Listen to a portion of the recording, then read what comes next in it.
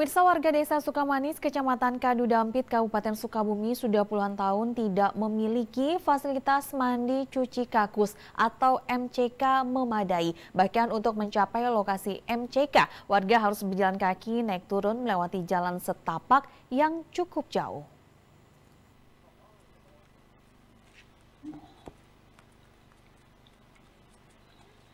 Sebagian warga Kampung Taman, Desa Sukamanis, Kecamatan Kadu Dampit, Kabupaten Sukabumi, tidak memiliki sarana mandi cuci kakus atau MCK yang memadai. Untuk mendapatkan air bersih, mereka mengandalkan sumber mata air. Itu pun hanya untuk keperluan mandi.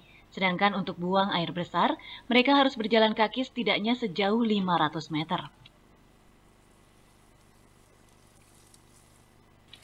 Kondisi tersebut sudah terjadi puluhan tahun lalu. Bahkan jika darurat dan malam hari, mereka terpaksa buang air besar di kebun.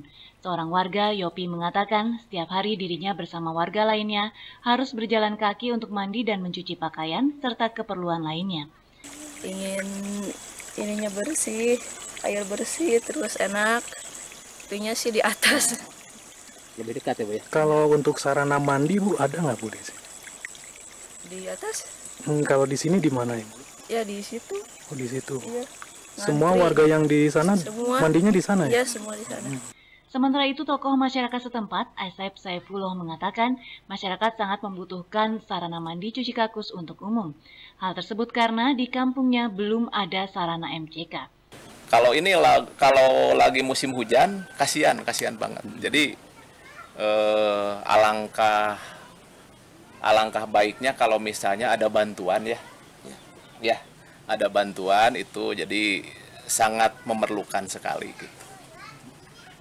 Itu keperluannya untuk apa aja Pak air itu? Untuk mandi, untuk nyuci, untuk minum. Warga berharap pemerintah segera turun tangan untuk membuat MCK yang memadai di kampung mereka agar tidak perlu jalan jauh saat akan buang air besar. Hal itu juga berdampak bagi kesehatan lingkungan mereka. Budi Setiawan, Bandung TV.